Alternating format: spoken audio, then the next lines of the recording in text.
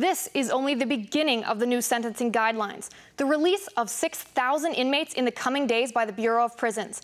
This action doesn't even take into account President Obama's agenda to grant clemency to nonviolent drug offenders.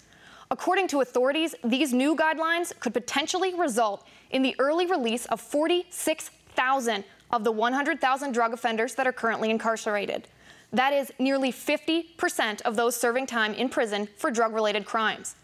They claim the aim is to reduce prison overcrowding, but will this also reduce the safety and security in our neighborhoods and our communities to have these inmates back on the street so soon?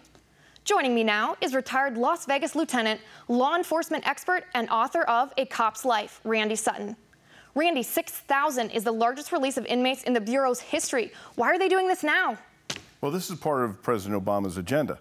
Um, the uh, 6,000 that are due to be released in the next few days is um, is only part of the of the operation here. Within the next 30 days, there's going to be another 8,500 released. They're rushing to get these prisoners out. And, and the, the misnomer here is the nonviolent drug offender. I like that term because what it does is it, it washes away the realities of what drug offenders are. By the time you actually get into federal prison, you have a, a record that is lengthy. And all of these drug offenders um, were sentenced, most of these were sentenced because of gang related issues.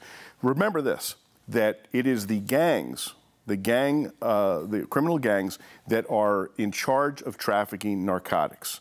By the time somebody gets into the federal system, they're already a hardened criminal.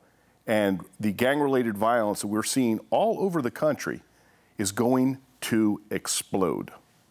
So you say that after this original 6,000, many more are slated to be released. Will this be in increments? Will it be a few at a time? Will it be these mass releases like this 6,000? What can we expect? What can we expect with this? Yes, you're going to see the mass releases. First one is 6,000. Next one is around 8,500. And as, and as they, they uh, uh, propel forward, their end number is around 46,000.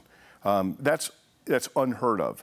Think, think of Conceive of this 46,000 hardened criminals are going to be unleashed on the American public.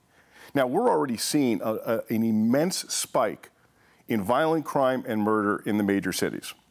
All of the, all, the, the vast majority of those murders and that violent crime is directly related to gangs. What is the fuel that, that funds the gangs? It's narcotics. It's drugs. It's been like this way uh, for 30 years.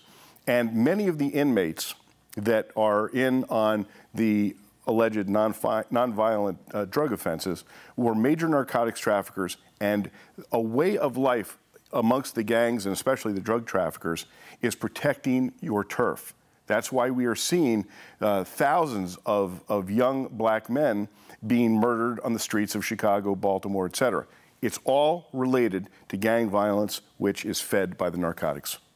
So this this should have an effect then on our society in two ways. It should affect the economy and it's going to affect our safety. Safety. Can you talk a little bit about what this will do to our economy first, having these people released back onto the streets, and then what you expect to see in terms of gang-related activity, the increase of more violence, of more drugs. Can you talk a little bit about those two aspects of the effect it'll have on our communities? Oh, absolutely.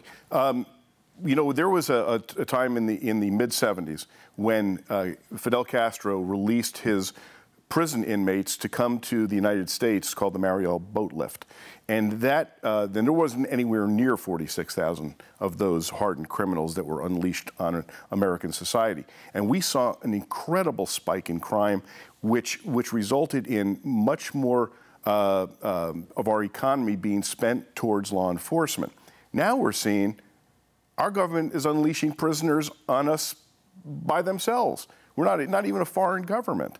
And so what we're going to see is, of course, a major spike in crime that, we have, that we're already seeing the beginnings of. Remember that in this last year, that we have seen uh, uh, murders and violent crime rise in major spikes as well as attacks against law enforcement. And, and this is directly related to gang violence. Now we're releasing upwards of 46,000 hardened criminals into the American public. Uh, it doesn't take a rocket scientist to figure this one out.